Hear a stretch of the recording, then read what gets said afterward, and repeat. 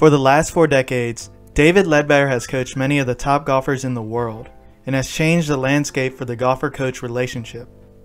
His teachings over these years have helped players produce some superb results. However, today his name brings up some strong feelings for many golf fans. Greetings, y'all, and happy 2021. It's your Anak Peter Mata, and I know I talked a bit about David Leadbetter in my Ty Tryon video, but I wanted to explore his story more and provide more of a balanced view as to why he's so polarizing. So, without further ado, let's get into the truth about David Leadbetter. Born in Sussex, England, David actually grew up and played junior golf in Zimbabwe.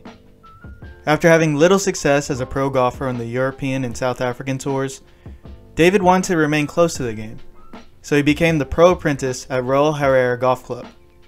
There, he cultivated his interest in the techniques, mechanics, and psychology of golf, and soon thereafter he jumped into the golf coach profession. David first became prominent in the 1980s when he began working with a young Sir Nick Faldo. While Nick had won the 1983 Order of Merit on the European Tour, he was frustrated by his inability to finish majors and break his Nick Foldo nickname bestowed upon him by the British press. While it took a few years of retooling, together, David and Nick transformed Nick's old school 1970s swing to a more modern swing that could, quote, win the Open. And as they say, the rest is history. Nick went on to win six majors after the swing change and rose to the number one player in the game. This obviously gave David a lot of notoriety for help making this transformation possible. So along the way in the late 80s and early 90s, he picked up some big name students. From Ernie Els to Nick Price to Ian Baker Finch, he built a premier stable of players, all of whom won a major under his guidance. As the 90s moved along, David's profile and celebrity grew. He wrote books, created instruction videos, developed all sorts of innovative training aids, and began building his first Leadbetter Academy in Florida. Not to mention, he was raising a family of his own with his LPGA Tour wife Kelly Fuchs.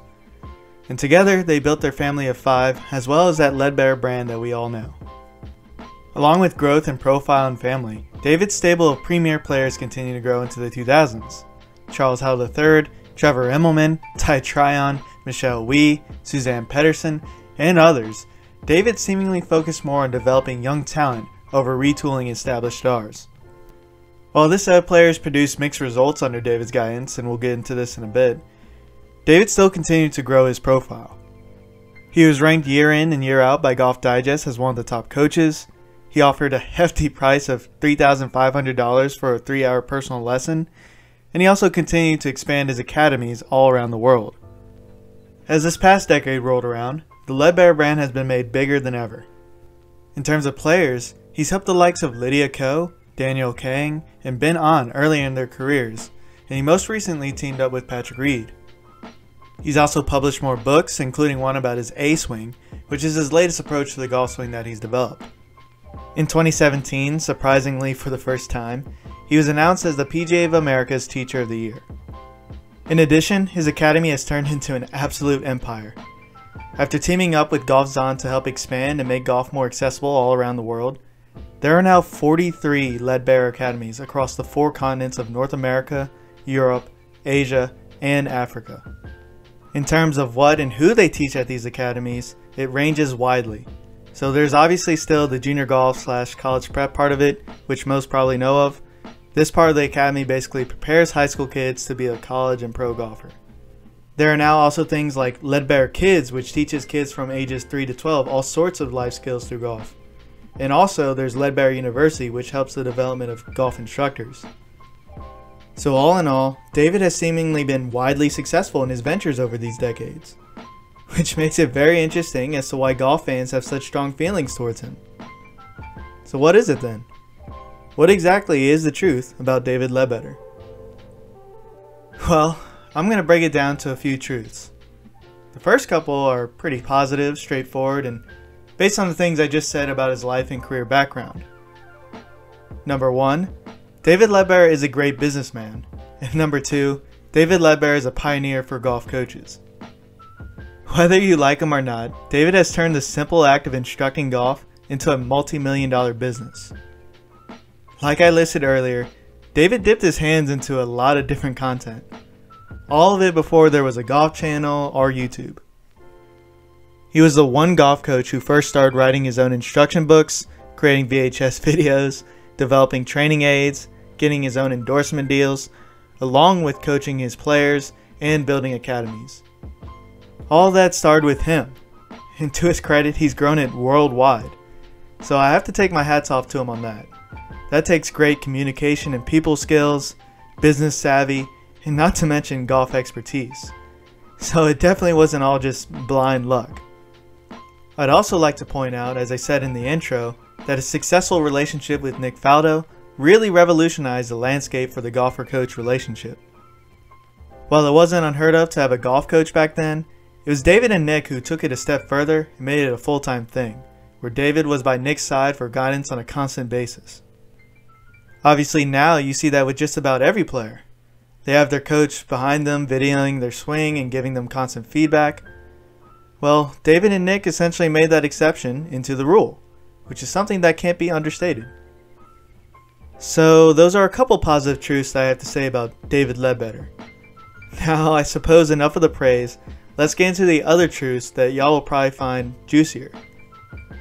Number 3. David Leadbetter's quote unquote phenom students underachieve because of his approach to teaching them. And number 4, to that extent, David Leadbetter's teachings is not for every golfer. So let's get into this. What exactly is David Leadbetter's supposed philosophy, and how does it affect his students? What's interesting is reading what he and others say about his philosophy, because it's a stark contrast between thoughts. On one side, you have people, usually golf fans, that say he's a method teacher, who only focuses on mechanics and is unwilling to adapt to a player's swing. Also, along those lines, he gets criticized for ruining players' natural swing. Or as they like to say, those players get lead poisoning. And on the other side, you generally have pros, other coaches, and David himself who say, no way. David is not a system or method teacher. He doesn't teach the same basic moves to every golfer. He believes that there's a right swing for each student based on their body type and natural rhythm. So obviously this makes for a very interesting debate. Who exactly is right? Well, I suppose the cop-out thing to say is that they both are, at least in my opinion. I stand by what I said in my Ty Tryon video and what I said earlier about David Leadbetter's teachings. I have no doubt that when David works with a golfer that he will teach that player based on their swing and his relationship with them. And yes, there are certain core items that he does focus on for each of his students, and you can pause to see some of them here. But I don't think we can deny that there's been a pattern from his students since I'll say the 2000s and on.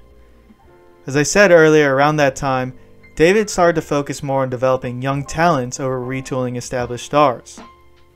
The likes of Charles Howell III, Ty Tryon, Michelle Wie, Trevor Immelman, Lydia Ko, Danielle Kang, Ben An, etc. All of which young phenom types who have beautiful swings and are great ball strikers all of which who also aren't necessarily known for their short game and have had slumps after early success and hype in their careers. Some of this definitely has to do with David Leadbetter's approach to teaching them. What seems to happen is that David teaches them the quote unquote flawless mechanics. And honestly, it truly is good. Each of these players have their swings and techniques exactly where you would want it. I mean, it's absolutely aesthetically pleasing, and they produce results. But then usually, once these players leave the academy, so to speak, and go on their own, they all sort of struggle to adjust. That's because David's teachings makes them focus too much on perfecting the mechanics instead of focusing on scoring and using their natural abilities to adjust. Which is interesting because David's main thing with his students is to make them self-reliant. He's previously said, quote, My whole key with all these players is to make sure they understand their own swing. Make sure they're self reliant. I would say, look, I'm trying to make you your own best coach. So you could say for these players, he failed to do that. I think because these players were so young and really their only experience was with David Leadbetter early on, they never really got that chance to develop for themselves that natural instinct to score, adjust, and really just let loose and play golf. Now look, some of these players have righted the ship and have been able to move on with their careers successfully. But to this point, all these players have underachieved for the talent that they have, which is why people get upset and criticize David. They see these young talents stop producing and become overly mechanical and mental. And sure, a big part of it is the player's fault too, but David's teaching approach certainly contributed to their development that way. And to get back to another point, this is why David Leadbetter's teachings is not meant for every golfer. Of course, you could say that for just about every coach. And also, I'm not really talking about the stuff you see on YouTube that are made for like the weekend golfer. There is actually some good stuff there that can be helpful. But what I am referring to is that I think David's teachings are ultimately more effective on established stars rather than on young talents. And I think he should focus more on that instead of trying to build up talents from the ground up. Because after all, that's how he became so notable in the first place. The Nick Faldos, Nick Prices, and Ernie Els of the world already had their own instincts, and David had the expertise to spot where they could improve. This is why I predict he'll probably do well with Patrick Reed, because Patrick has already developed his own instincts, and David should be able to see where improvements can be made. To sum it all up though, there's no doubt that David Leadbetter has made a mark on the game. A lot of people, rightfully so, give Butch Harmon credit for being the Phil Jackson of golf coaches. But while I've said what I've said about David's faults, I can recognize that he's contributed greatly to golf. It should be put right up there with Butch as one of the greatest golf coaches of all time. He's helped introduce the game to many and has helped countless of not only pros, but also amateurs improve their game. So, at the end of the day, these are just my observations about David. I wish him well and hope y'all found this video interesting. It is a bit different from my other videos, and I plan to continue to mix it up to start this year. But yeah, definitely let me know your thoughts on it, and whether or not you hold these truths to be self-evident about David Leadbetter. Anyways, thanks again for watching y'all, and as always, please like, subscribe, and comment below. Your words mean something to me.